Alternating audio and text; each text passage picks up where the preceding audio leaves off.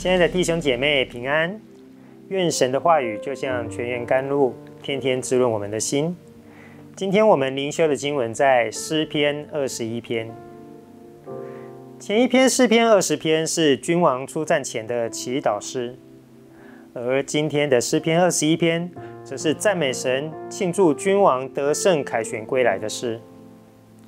君王经历神垂听祷告。因他大能的手施行拯救，所以诗人赞美神，歌颂他的大能。第一节，耶和华王必因你的能力欢喜，因你的救恩，他的快乐何其大！这位君王的欢喜快乐不是普通的快乐，而是一个言语不足以形容的大快乐。为什么他能有这么大的快乐呢？第一，因为他得蒙拯救而快乐。原本王面对恨他的强敌威胁，他甚至不知道可不可以存活下去。在第四节写到，他向神求寿，这不是求长生不老，而是求一个真实活下去的指望。敌人的强大容易令人失去指望，但是在第七节，王倚靠耶和华，因至高者的慈爱必不摇动。他的信心建立在至高神永不摇动的慈爱上。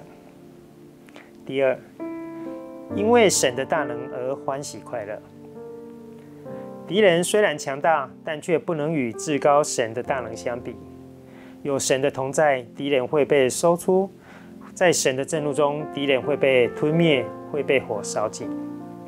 依靠那至高大能的神，是得胜的确据。在第二节。他心里所愿的，你已经赐给他；他嘴唇所求的，你未尝不应允。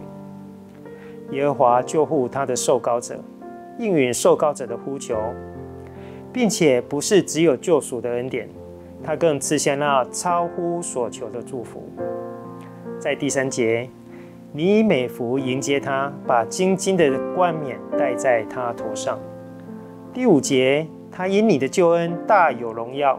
你又将尊荣威严加在他身上。第六节，你使他有鸿福，直到永远，又使他在你面前欢喜快乐。这是多么多的祝福！耶和华神不只是施行拯救，他还要为受膏者戴上冠冕，要加添荣耀、尊荣与威严，更要使他欢喜快乐。弟兄姐妹，你正面对各种敌人吗？是人的攻击，人的回报吗？是疾病，是患难吗？是忧郁，是害怕吗？至高神愿意帮助你，他愿意用大能的手来扶持你，为你征战，并且得胜。